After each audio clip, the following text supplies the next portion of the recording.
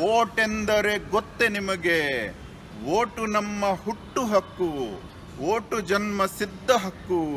ಕರುನಾಡ ಓಟುಗನೆ ನಿನ್ನಧಿಕಾರದ ಬೆಲೆಯು ಗೊತ್ತೇ. ಕರ್ನಾಟಕದ ಆದಾಯ ವರ್ಷಕ್ಕೆರಡು ಲಕ್ಷ ಕೋಟಿ.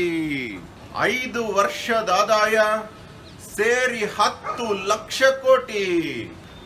ಐದು ಕೋಟಿ ಓಟುಗರೆ, ಒಂದು ಓಟಿಗೆರಡು ಲಕ್ಷ. ವ್ಯರ್ಥ ಮಾಡಬೇಡಿರೋ ಸ್ವಾರ್ಥಿಗಳನ್ನ ಮಟ್ಟ ಹಾಕಿ ಅರ್ಥ ಹುಡುಕಿ ಓಟು ಹಾಕಿ ಅಹೋರಾತ್ರ.